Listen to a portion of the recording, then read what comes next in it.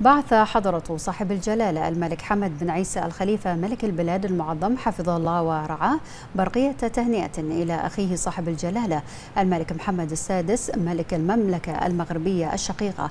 أعرب جلالته فيها عن أخلص تهانيه بمناسبة تأهل المنتخب المغربي لدور 16 في بطولة كأس العالم 2022 بعد فوزه على المنتخب الكندي بهدفين مقابل هدف واحد وتصدره لمجموعته.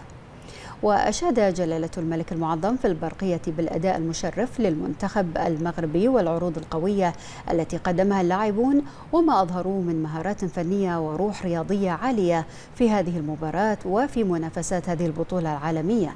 متمنيا جلالته للمنتخب الشقيق كل التوفيق والنجاح وأن يكون الفوز حليفه دائما في مبارياته القادمة وفي مسيرته الكروية.